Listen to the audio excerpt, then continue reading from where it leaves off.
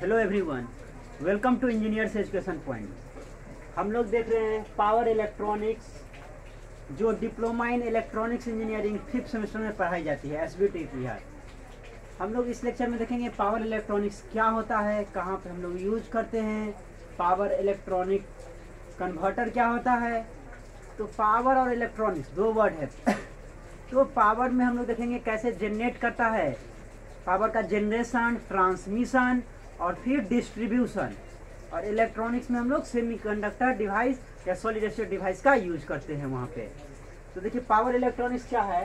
Power electronics deals with how to control and convert electric energy into one form to another and how to utilization of power at high efficiency. हम लोग power electronics में power level पे काम करते हैं. वही other में क्या करते हैं? सिग्नल लेवल पे काम करते हैं। पावर पावर इलेक्ट्रॉनिक्स हम लोग पावर लेवल पे डील करते हैं इस सब्जेक्ट को। तो यहाँ पे आपका मैक्सिमम इफिशियंसी के लिए हम लोग क्या करते हैं? पावर इलेक्ट्रॉनिक्स का यूज़ करते हैं। आपका पावर का क्या होगा? जनरेशन होगा, जो हमारे देश में कौन सी कंपनी करती है? एनटीपीसी और ट्रांसमिशन का काम कौन करता है? PGCIL power grid corporation of power grid corporation of India limited और डिस्ट्रीब्यूशन आपका डिफरेंट सारा स्टेट का जो है डिस्ट्रीब्यूशन यूनिट वो करता है। तो ये आपको पावर इलेक्ट्रॉनिक जो है, एक सब्जेक्ट है जो डील करता है control and convert of one form of energy into another form of energy control भी करता है और कन्वर्ट करता है। डिफरेंस पावर इलेक्ट्रॉनिक कन्वर्टर है, इसको देखिए। तो पावर इलेक्ट्रॉनिक्स कन्वर्टर में आपका रेक्टिफायर है। रेक्टिफायर क्या करता है? एसी को डीसी में कन्वर्ट करता है। Convert fix AC to variable DC fix AC को वेरिएबल डीसी में कन्वर्ट करता है। नेक्स्ट आपका जो है पावर इलेक्ट्रॉनिक्स कन्वर्टर वो इन्वर्टर है। इन्वर्टर क्या करता है? इन्वर्ट्स करता है DC to AC having variable frequency DC को एसी में करता है कन्वर्ट जिसका फ्रीक्वेंसी क्या होता है? वेरिएबल फ्रीक्वेंसी होता है। नेक्स्ट है चॉपर्स चॉपर क्या करता है? कन्वर्ट करता है फिक्स डीसी को वेरिएबल डीसी में।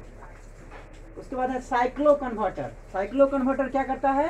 कन्वर्ट्स करता है fix AC to AC with variable frequency fix AC को वेरिएबल फ्रीक्वेंसी एसी में कन्वर्ट करता है। और आपका है AC voltage controller AC voltage controller क्या करता है? कन्वर्ट करता है फिक्स एसी को वेरिएबल एसी में at same input frequency same input frequency पे फिक्स एसी को वेरिएबल एसी में कन्वर्ट करता है।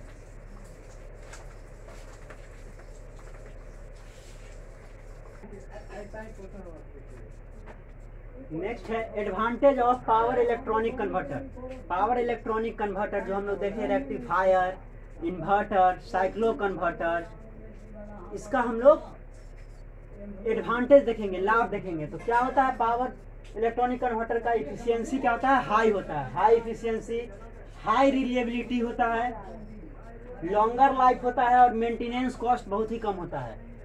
फास्ट डायनेमिक रिस्पॉन्स होता है। पावर इलेक्ट्रॉनिक्स कन्वर्टर का साइज़ स्मॉल होता है और लाइट वेट होता है। और साइज़ स्मॉल और लाइट वेट होने के कारण इसका इंस्टॉलेशन कॉस्ट क्या होता है?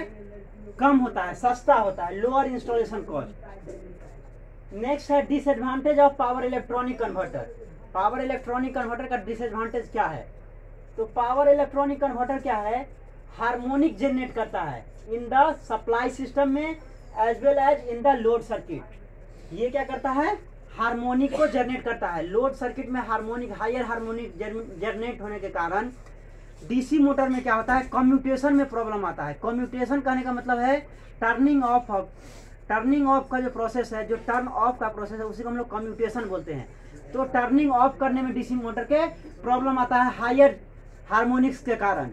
या मोटर क्या होता है? हीट हो जाता है। नॉइज़ प्रोड्यूस होता है हायर हार्मोनिक्स के कारण। Regeneration of power is difficult in power electronic converter system power electronic converter system में रीजनरेशन जो है, वो डिफ़िकल्ट है। तो ये दो क्या हो गया, इसका डिसएडवांटेज लेकिन हम लोग एडवांटेज देखे तो एडवांटेज कहीं गुना ज़्यादा अच्छा है डिसएडवांटेज के कंपेरिजन तो पावर इलेक्ट्रॉनिक्स डिवाइस का हम लोग पावर इलेक्ट्रॉनिक्स कन्वर्टर का हम लोग वाइडली यूज़ करते हैं।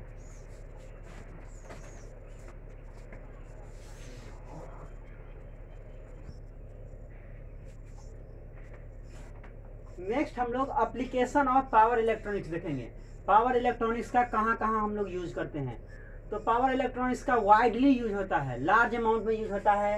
हम लोग डोमेस्टिक में यूज़ करते हैं इंडस्ट्री में यूज़ करते हैं एरोस्पेस में करते हैं कॉमर्शियल यूज़ होता है ट्रांसपोर्टेशन होता है मीन्स ईच एंड एवरी जगह, हर जगह पे इसका यूज़ है पावर इलेक्ट्रॉनिक्स का।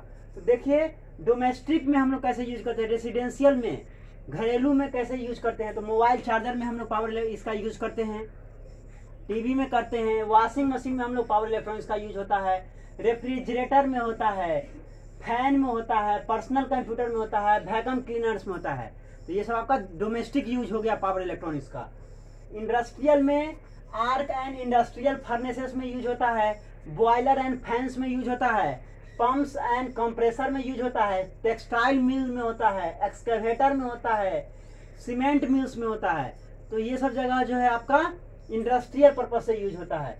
एरोस्पेस में सेटेलाइट पावर सप्लाई के सेटेलाइट का पावर सप्लाई में हम लोग पावर इलेक्ट्रॉनिक्स का यूज़ करते हैं। एयरक्राफ्ट पावर सिस्टम में हम लोग यूज़ करते हैं। कॉमर्शियल यूज़ में हम लोग एयर कंडीशनिंग में एसी के लिए यूज़ करते हैं। कंप्यूटर एंड ऑफ़िस इक्विपमेंट में यूज़ करते हैं। एलिवेटर्स में यूज़ करते हैं। लाइट डिमर्स में यूज़ करते हैं। फ्लैशर्स में यूज़ करते हैं। तो ये आपका बहुत सारा इसका यूज़ है। ट्रांसपोर्टेशन में हम लोग बैटरी चार्जर चार्ज करने के लिए यूज़ करते हैं पावर इलेक्ट्रॉनिक्स का। इलेक्ट्रिक मोटिव्स में भी यूज़ करते हैं, स्ट्रीट कार में करते हैं, ट्रॉली बसेस में होता है। तो ये बहुत सारा आपका एप्लीकेशन है मींस पावर इलेक्ट्रॉनिक्स का वाइडली यूज़ है। आपका, हम लोग देख रहे हैं पावर इलेक्ट्रॉनिक्स का वाइडली यूज़ है। तो पावर इलेक्ट्रॉनिक्स के लिए जो बुक आपको प्रीफर करना है, वो पी एस भीमरा का बुक आता है। Power electronics doctor P S Bhimra देखिए, ये बुक ये बुक को आप परचेज कर लीजिए। और फिर यहाँ से पढ़िए। इंजीनियर्स एजुकेशन पॉइंट में ऑलरेडी ऑनलाइन एजुकेशन स्टार्ट हो गया है। आप जल्द से जल्द रजिस्ट्रेशन करवा लें। आप इंक्वायरी के लिए हमें फ़ोन कर सकते हैं। मेरा नंबर है eight five eight one eight three six zero double five thank you thank you so much for watching this video